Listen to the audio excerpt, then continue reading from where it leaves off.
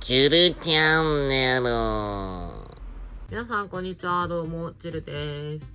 えー今回はですね、普通になんかまあ雑談メイクしていきます。最近あったことだったりだとか、思ったことだったりだとかね。そう、休みの日はね、もっぱら家でゲームやったりだとか、なんか SNS 徘徊したりとか、いろんなことをしたりとかしてるので、まあ私も思うことがあるわけですよ。まあそんなことをね、聞きながら、まあメイク見てってください。化粧品紹介しないけど。うん。まあ今日どんな話をしようかっていう話なんだけどさ最近ねすごい思ったの。モテる女？モテる女ってさ結局甘え上手な人？なんて言ったらいいのかな？えこんな言い方したらすごい悪いかもしれないけどさ一人で生きていけなそうな人がモテるくない？ほっとけない人みたいな。猫ちゃんっていうよりかはワンちゃんみたいな感じの女の子。が一番結局モテるんじゃないかなって最近なんか行き着いたんですよ。すごいなんかねモテない女子はマジで共感してくれると思うの。モテる女ってどんな感じだろうって思ったら結果そこに行き着くくな。いそこに行き着いたのはいいんだけどさ自分がそういう女じゃないっていう。私ってね、マジで一人で生きていけそうな感じするくない？強そうっていうかさ、強そうな女の人ってさ、結局なんかモテないのかななんて思っちゃったりとかするんですよね。自分に好意を持ってくれてるって分からないと甘えられないの。自分のこと好きって分かってるわけでもない相手に対してすごい甘え上手な人多くない？マジでなんで甘えられるんだろうってぶっちゃけ思っちゃう。えすごいよね。これ悲願でるとかなんか病んでるとかそういうわけじゃなくって最近そういう風に思うことがすごく多いなっていうだけの話なんですけど。やっぱり将来的にはさ誰かと寄り添いたいなって思う気持ちがあるわけよ。えでもこれはみんなそうだと思う。普通に今今を楽しく生きてるなっていう感じはするんだけど将来が見えないみたいな感じのことあるくない？え私このまんまだったら私一生この先一人なのかなとか考えちゃうことない？え私めっちゃ考えちゃうんだけどすごいなんかもう個人的な話だけしちゃうけどさマッチングアプリとかあるじゃん今さ。でも結構なんか確かに友達とかもさマッチングアプリで出会ったんだよねとかって普通に言ってる人とかも全然いるからさマッチングアプリってすごい悪くないのかなって思ったりとかもしてて思うんだけどえ嫌じゃない？めっちゃプロフィール欄にさ元男ですみたいな。感じで書くの？えめっちゃ嫌なんだけどって思ってなんか未だにできないんだよね。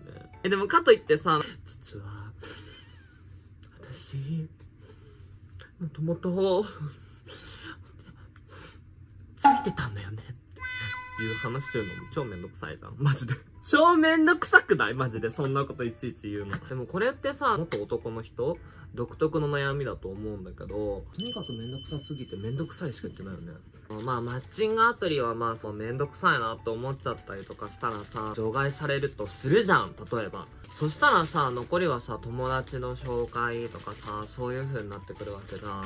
その紹介してくれる人すらなんかよくわからないみたいな感じの人とかだったら別にいいんだけどさすごい変なこと言っていい？その友達の紹介ってさあんまり信用できなくない？紹介できるっていうことはさその人もさ独り身の可能性が高いじゃん。その独り身の人に紹介してもらういい男って絶対いい男な気がしないんだよね。これはほんとマジであるあるだと思う。だから、彼氏がいる友達とかだったら全然紹介してもらったらあれだなって思うんだけど、でもさ、彼氏がいる友達の人を紹介してもらうんじゃなくって、彼氏がいる友達の彼氏の友達を紹介してもらうだったら全然なんとかなりそうな気がするんだよね。それだったらいい男いそうって思っちゃう。え、ほんと思わない？なんか、え、すごい最近そういうこと考えててさ、最近ね、ちょっとここにもちらちらっと見えるけどね、これまだ読みかけだからしおりしてあるんだけどね、これヤッピくんのさ、パクチー大好きな人もいるから自分を愛してくれる人もきっといるっていうね。やつがあるんですけど、最近っていうかまあちょっと読んでて、すごいなんか頭が恋愛のになっちゃってさ、えでもね、すごいマジでちょっと面白くって、マジで見てて、すごいなんか恋愛したくなるみたいな感じの空気感になるんだよね。私最近恋愛についての動画すごい多いじゃん。あれさ、ヤピくんの本読んでから、すごいマジで恋愛したくなっちゃって、すごいそれで恋愛のことばっかり語ってるんだけど、みんな許してね。私が喋りたいこと喋るから。恋愛したいなってすごく最近思うんですよだから、うん、今日はちょっとメイク簡単にするかな。めんどくせえ。過去の恋愛とかをすごい思い出す機会がなんか知らないけど多くって。みんなさ、全く下ネタが一切絡んでない恋愛ってしたことある？いや、私さ、そういう恋愛を実はしたことがあるの。恋愛っていうか片思い。あの、知り合い方が仕事関係で知り合ったんだよね。別に私全く何も思ってなかったんで、一番最初。全くだよ。気分的にそんなに上がってってるような状態じゃなかったわけよ、その当時。そう、それでなんか別に、あ、うん、あ、うん、どうも、よろしくお願いします、みたいなぐらいな気持ちだったのね。でもまあね、ちょっと好きになっちゃうわけよ、私が、片思いで。ででもこのエピソードはね、マジで本当に私、すごいなんかね、マジで、ちょっとこれはいい話よ、マジで。とりあえず別に何も興味のない人だったんだよ、その人は。でも、うちがね、多分病んでるんだろうなっていうことを多分察してくれたんだろうけど、めっちゃ優しくしてくれたの。で、その優しくしてくれるっていう内容も内容でさ、家までね、ご飯届けてくれたの。やばくない？電話来て、お昼ぐらいに。で、電話来て、あ、びっくりしちゃったな。Google ニュースだった。なんていうの、お昼ぐらいにその人から電話来て、で、どうしたんですか？みたいな感じで話してたんだけど、その向こうがね、お腹空いてる？みたいな。今さ、ちょうどここにいるから、なんか買ってってあげるよ、みたいな。感じで、ご飯買ってきてくれたの。でもね、その時は何も思わなかったの。初めて会ったばっかりぐらいの時だったからさ、これからお願いしますぐらいの気持ちでやってくれてるんだろうな、みたいな気持ちだったのね。で、まあお仕事がさ、職場が一緒だからさ、終わる時間とかももう全部一緒なわけよ。まあ仕事だからさ。そう、それで終わった後とかに、ご飯行こうよみたいな感じでご飯連れてってくれたりとかもしたわけよ。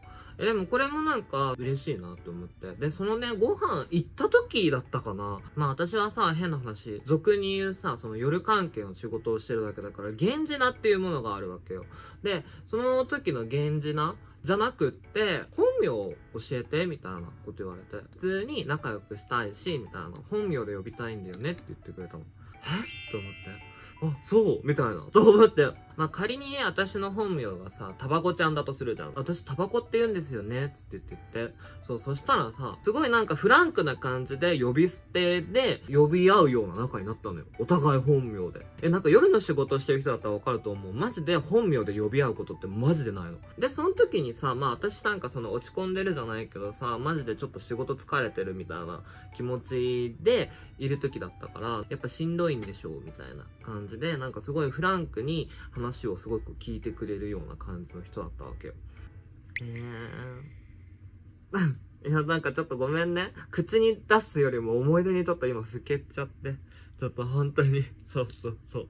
で、まあそんな感じでね、まあご飯にちょこちょこ行ったりだとか、お互いのプライベート的な感じの話もするようになって、で、その時にさ、まあ向こう車持ちの人だったんだけど、車で家まで送ってってくれてると時に、どっかちょっと寄り道してかないみたいな。っていう感じでちょっと言ってくれて、それで、あ、いいよ全然、みたいな感じで、むしろ送ってくれてありがとうね、ぐらいな気持ちで、寄り道をするわけですよ。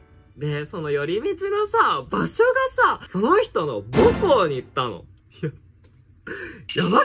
え、だって、そ、そんなのさ、なかなかなくない？え、その人の母校に行くんだよ。マジないじゃん、そんなこと。青春時代の話とかをいろいろしてくれるわけよ。まあ、母校のところね。外からではもちろんなんかその不法侵入とかはしないから、母校の近くのなんかベンチみたいなところに座って、あそこが俺がいた教室なんだよとか、そういう話をしてくれるわけよ。でもみんな想像してみて。そんなさ、マジで少女漫画的なことなくない？本当に。でもね、あったのよ。本当に。これマジで信じてくれる人、信じてくれない人いるかもしんないけど、ガチなのこれ。まだなんかそんな何も始まってないのに、そんな感じの展開来る？まさかの？みたいな感じなわけよ、こっちからしたら。そう、その人の母校行った後に、うちが、ちょっとテンション上がっちゃって、ちょっと連れてってほしいとかあるんだけど、って言って言って、それで海に連れてってもらったのよ。夜だよ、夜、夜、夜、夜。インスタとか見てくれたらわかると思うんだけど、私ね、ほんとマジでね、自然が大好きなの。もうみんなわかってくれてると思うけど、マジ森があるみたいな感じなんだよね。そう。で、もうそれもさ、連れてってもらったら連れてってもらったでさ、すごいさ、マジロマンチックじゃん。で、ロマンチックじゃん。でもね、その、海行った時に、この人、すごいなんか優しいし、うちが行きたいとこ連れてってくれたりだとか、まあ逆に自分が行きたいところっていうかね、その母校だったりとか自分の話もよくしてくれて、この人いい人だなって思って、ちょっと意識するようになるわけよ。まあそんなこんなもいろいろありつつも、その後ね、急にね、向こうに家に誘ってもらえるわけよ。本当最初にも言ったけど、マジで下ネタないからね。で、まあその人の家に行くきっかけだったんだけど、向こうがね、すごいマジカニが好きな人だったのよ。車でね、また送ってってもらう最中だったんだけど、なんかカニの匂いしないつって言ってって、よくわかったね、みたいな感じで、奪えちゃったらしょうがないな、一緒に食べる？つって言われて、え、食べたい食べたいみたいな感じになるわけじゃん。そしたらさ、必然と向こうの家に行くみたいなノリになるわけじゃん。で、一緒にまあ、カニを食べるわけよ。で、向こうの家がさ、すごいなんか引っ越したてかなんかなのかな結構すっきりした家でさ、なんか物もすごい少なくって、ちょっと響くみたいな感じなのかなわかんないけど。今、ゲームが趣味らしくって、で、なんかゲームしてるんだけど、向こうが。で、ゲームをこう横でさ、なんかちょこんってしながら、寄りかかってるわけじゃないし、なんていうの、なんかあの微妙な距離感をもちろん保ちつつだけど、こうポケット見てたわけよ。まあ私はちょこんって座りながら。見てて、その時にかな、多分、あ、こういうのっていいなって思っちゃったんだよね。その状況とかもそうだし、いろんなとこ連れてってくれたりだとか、ご飯連れてってくれたりだとか、いろんなことがあって、それを思い出しながらゲームを見てる時に、もうほんとね、ちょっと本当にね、あの、良かったんだよ、それが。その人とのさ、出会い方がさ、まあ言うたら仕事なわけじゃん。私的にはね、私的には、やっぱ仕事上の関係も、あ、もちろんろんあるわけじゃん。で、職場内恋愛っていうのをうちマジでしたことがなくって。だからなんかもう職場内恋愛にあんまりいいことはないと思ってる人なのよ、私は。仕事もしづらくなったら嫌だし、このぐらいの状況を楽しんでればいいのかなみたいな気持ちでいたわけですよ。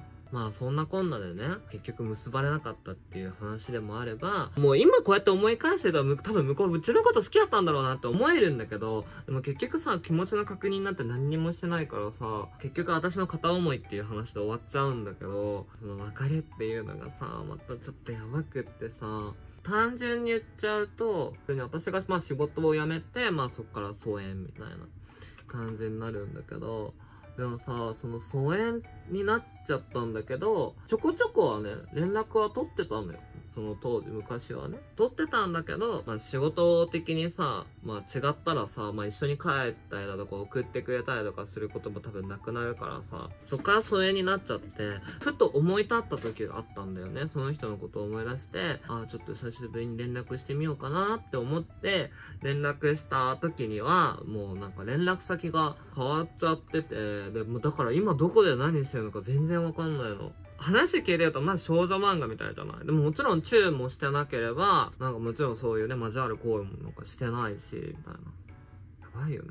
こんな不純だらけの私なにそんなことあっていいのかなみたいな感じで思うぐらい。マジで。すごいなんかまとまりのない話をしてるのはすごいわかるんだけど、あんまりなんか気にしないでね。そう。可愛いでしょ、ハート。恋の話はまあとりあえず置いといたとして、この間ね、インスタの方のストーリーにはちょろっと載っけたんだけど、実はね、4キロくらい痩せたの。痩せたのにさ、金沢行って、爆食いしたのね。もう多分ね、あの、これが公開されてる頃には多分 Vlog が公開されてると思うから、普通に Vlog 見てくれたらわかると思うんだけど、お寿司15貫ぐらい食ったのね。え、やばくない？と思って。今度胃が伸びちゃったっていうのかな？伸びちゃって、またなんか爆食するようになっちゃったのよ、うち。そう、それでさ、2キロぐらい多分戻っちゃったんだよね。1回食べるとマジで胃って伸びるわ。悔しい。はい、というわけでですね、前髪がすごい迷子なんですけど、一応出来上がりました。え、迷子すぎん？やばくない？今の。結局また恋バナをしながらメイクをしました。今日の動画で伝えたかったことはとりあえず私はいい恋したことがあるんですよこんな私でもっていう話でした皆さんほんと今日もね退屈な話をダラダラダラダラと見てくださってありがとうございました というわけですね、この動画がちょっとでも面白かったなとか、あ、これシチュエーション確かにキュンするわとかね、ちょっと共感してくれる人がいらっしゃいました。よかったらチャンネル登録とグッドボタンよろしくお願いします。ということで、以上、チルでした。バイバイ。